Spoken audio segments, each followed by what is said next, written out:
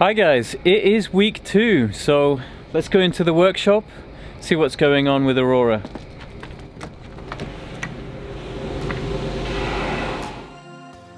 We picked up Aurora brand new in 2019 from the factory. The plan was to put our boat on a charter program to help with the costs in keeping her. But after a grounding in July 2020, she has been on the hard ever since. It's now 2021 and things are looking up as Aurora is going into the workshop to be made strong again. Join me as I follow the guys at Plastskador and Montage and learn just how this type of repair is done by the professionals.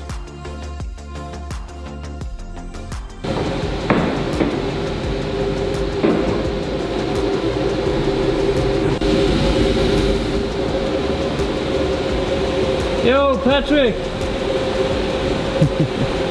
Welcome back aboard Aurora. Patrick's just finished up for the day. He's been through exactly what he's been uh, working on over the last few days, so let me try and convey that to you um, in the way that I know how. Let me start by telling you a little story about production boats, actually. Um, I'm not an expert on this, but I do know a few things now and what I've picked up over the last uh, couple of years and whatever, and, and the research I did before buying a boat. Hanse state that the bulkheads on the boats are laminated, uh, which is fine, and, and that the bulkheads uh, give the boat a lot of strength as well. But um, what the core strength of the boat is, is this grid. This grid uh, gives all the strength to the um, to the structure around the keel, and especially when you have a grounding, what will happen is the keel will try and push up here and this is where the majority of the strength needs to be on the grid here. There's two ways of doing this grid, right? One way you can do it is to fully laminate the grid into the hull, um, which is the most time consuming way, but it's also the best and the strongest way of doing it. Now, lately, production boats have gone away in which they're um, putting bonder down in between the grid, and this is the bonder, this grey stuff here, they're putting this stuff down in between the grid and the hull. And although this works, um, the problem is that it's it's not as strong and it's very brittle as well. In the last episode I showed you that you can just you can just chip that away with a hammer. So you can imagine as soon as you get an impact like this, um, it's very prone to cracking and breaking because of the brittleness uh, of the um, bonder in there. And this was something that I was fully aware of when I was buying a production boat actually. Um, I knew that many of the costs have been cut. If you take like the difference between a Hallberg Rassy and a Beneteau and a Jeanneau and a Hanse and whatever, the price difference is a lot different actually. It's it's close to double I think when you pay for a hand-built boat and when you pay for a production boat. And when you start to look around the boat, you realize that actually all of the gear is more or less the same. You know, the mast, uh, the mast and rigging and everything like that, that's the same. Most of the time it's made by Selden. Um, the keels, okay, the, the keel is a keel. Uh, the windlasses, they're all more or less running the same gear, maybe slightly better, maybe slightly worse, but there's not that much difference in it. All the electronics, they're going to have the same uh, electronics, B&G, Raymarine, all those kind of things, right? So those costs are more or less the same. When it comes to the build, your money when you're buying a boat is being put into the time spent building the boat itself, the labor time, right? And the quicker they can build the boats, the more money the production boat company is going to save. And this is where they save money here okay it takes more time to laminate this uh, grid in than it does to put bonder all underneath the grid and just drop it down into hull, the hull. That's way faster to produce the boats that way. And this is something that a lot of people are willing to accept, me included. Um, it's the it's the new way of building boats, but unfortunately, when you get complications like this, you notice the downfalls as well. Anyway, just just food for thought. Back to the repair. There's four holes that have been cut in the grid there so that uh, Nicholas can access um, in and underneath the grid there. to start laminating the whole grid down. Now, it's important to mention actually that when Plastskador repair this, they're actually going to laminate the grid down to the hull, uh, which makes it much stronger. And um, yeah, it's going to be a better boat after the repair, which I'm super happy about. We were just talking about the keel bolts as well and the way that that will be repaired. And what happens is the keel is um, brought up and made sure that it's in line and then basically taken down again and what they'll do is they'll put Sikaflex on all of the top of the keel and put the keel up and then fill the area with uh, a special compound I'll find out what it is later um, mixed with uh, bits of fiberglass so it makes it very strongly bonded into the bottom of the hull there. So Patrick's also gone ahead and grinded off all of the uh, top of the gel coat over the grid there as well so what can happen later on also is that um, fiberglass can be laid right the way over the grid uh, making it like sort of wrapped in fiberglass down to the hull. So it makes it a very, very solid piece of construction there uh, just behind the keel and in this area. So you can see on the video here that the uh, random orbital sander makes pretty short work of this uh, gel coat on the grid. Inside here as well, you'll see that Patrick um, went ahead and chopped into this one. Uh, it's quite interesting to see inside the grid actually. To be honest, I'm planning to run a few wires um, from that side to that side of the boat for some temperature sensors. So while he's got this apart, um, maybe I'll get the chance to just run those wires quickly just to make my life easier, but we'll see. I don't want to get in his way. You can see here as well, these are where the major cracks were in that uh, piece of grid here and Patrick has gone ahead and uh, ground that down as much as uh, is necessary there to to the depth where there's no more damage and then he can start laying glass on top of there. There was also a little bit of discussion on the through holes as well, what through holes that we should put back on the boat. A lot of people have different opinions on this actually and Hanse fit plastic ones on this uh, that the Seacocks fit onto. Plastic ones apparently are very good in saltwater environments um, but some people say that they can be very weak as well. If something um, bashes them very hard, you could end up with a, a leak in the boat. So if the boat was to stay in the Baltic Sea, it's not very salty up here and there's not that much corrosion. But as we plan to do, one day, is to start sailing around the world and reading up on this and everything and a lot of people are saying okay the bronze um, or the brass one or the other they tend to corrode a lot more in salt water, so you're better off with the plastic through hulls. Um, I've got to speak to Nicholas about this a little bit. He's the expert, so I'm just going to get his opinion and decide later. We'll see. Another thing that I mentioned to you last week is actually putting some holes in the grid here um, so that I can access inside the grid to remove that water. We've had a little discussion on this and Patrick can actually make a hole more or less this size and that's going to be perfect actually so I can actually see inside the grid with a little light um, just to see if there's any standing water there and I can remove it uh, very easy. That's also going to be a, a great little improvement for me. I know, yeah, I may have OCD with this but I, I hate standing water even if it's only a little bit, you know, I like the bottom of the boat to be very dry so that there's no weird smells or there's no mold growing or it, it doesn't evaporate and keep the humidity up and yeah, I'm a little picky.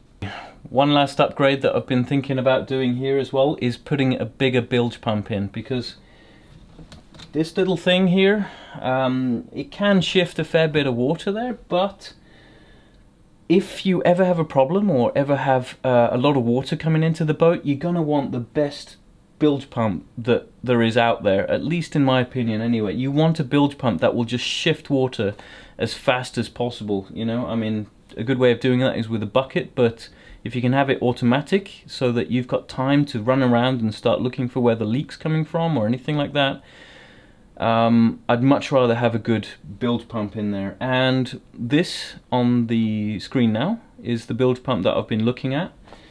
And I've been thinking about putting it just in front here um, so that you know if a lot like I say if a lot of water comes in I just want it to throw as much out as possible so that we can solve the problem. The only issue with this is that I've only got a certain number of through holes and where the water can uh, go out right? And thoughts that I've had before are putting a T connection on the existing bilge pump or one of the bilge pumps.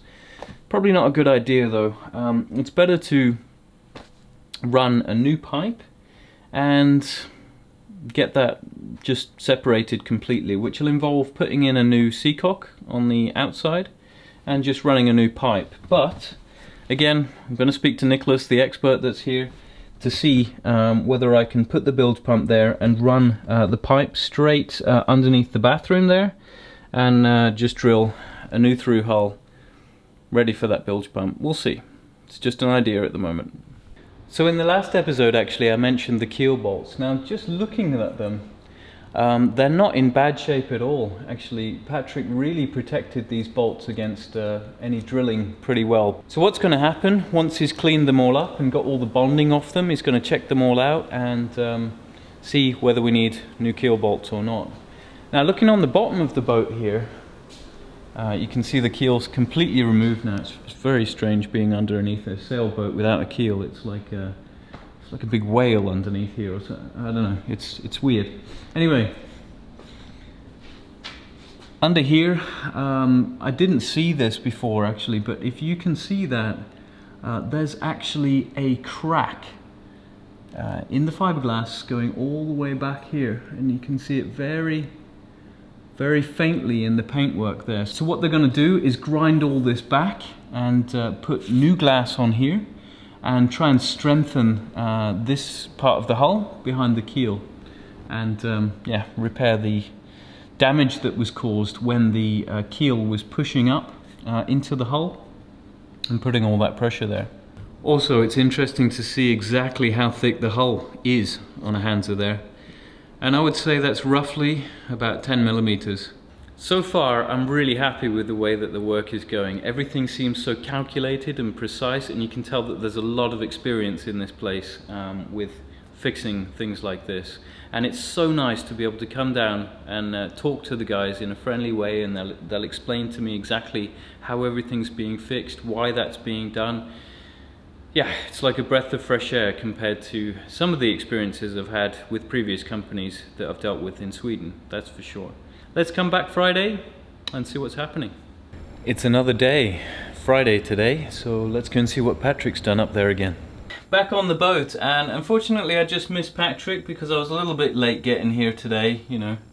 Have to keep up a full-time job as well, so it's kind of hard running two lives, right? But uh, looks like Patrick has gone ahead and taken uh, this section now. Um, he's ground away these this part of the hull and the tabs around the uh, grid on this side and um, is done underneath the kitchen as well and you can access th that through the through the draw, drawer through the kitchen unit here and looking at the footage on the GoPro and uh, from what I heard from Emil, it was an absolute pain in the backside. So I can understand that it takes a lot of time to get in here and work in funny angles and uh, do some backbreaking work.